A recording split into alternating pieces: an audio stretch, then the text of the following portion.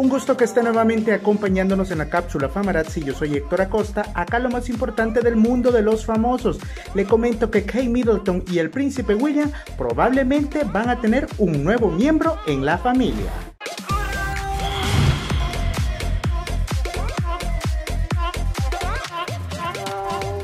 Todo parece indicar que los duques de Cambridge quieren otro niño. De hecho, un comentarista real está convencido de que solo es cuestión de tiempo antes de que se anuncie que un cuarto bebé real está en camino. Hace tiempo que pensaba que Kate quería un cuarto hijo y creo que la cuarentena ha aumentado las posibilidades de que ocurra, dijo él. El deseo de la duquesa por un cuarto niño se destacó nuevamente durante una reciente videollamada con los padres de un recién nacido en Londres. ¿Será que de verdad quiere aumentar su familia? Y si usted creció en los 90 escuchando a Nirvana esta noticia le interesa, una peculiar guitarra de Kurt Cobain va a ser subastada.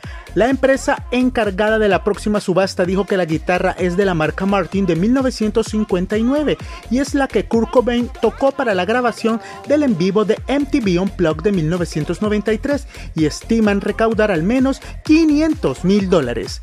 El instrumento tiene un estuche gastado cuyo compartimiento de almacenamiento contiene una pequeña bolsa de gamuza, donde se dice que Kurt escondía la heroína a la que fue adicto en los últimos años de su vida. La de la subasta está programada para el próximo 19 y 20 de junio. Y aunque usted no lo crea, la matriarca del clan Kardashian, Kris Jenner, recibió un regalo un poco peculiar en el Día de las Madres, una cesta solo para adultos. Fue idea de su hija Chloe de mandarle una cesta que entre los artículos que traía estaban vodka, condones de sabores, un bolígrafo vaporizador con esencia de marihuana y para rematar un vibrador. Chris no podía creer lo que su hija le había enviado, pero aseguró que lo tomó con muchísimo humor. Ella también le regaló a su madre un carísimo bolso de mano de la marca Dior y un enorme ramo de rosas rosadas.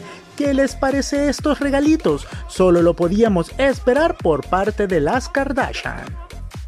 De verdad de que Chris Jenner tomó con bastante humor los regalos que le mandaron por el Día de las Madres. Yo me despido hasta acá, invitándole a que siempre se informe a través de las plataformas de la prensa gráfica. Sigamos las recomendaciones del gobierno y no se pierda la cápsula Famarazzi. Yo soy Héctor Acosta y nos vemos hasta la próxima.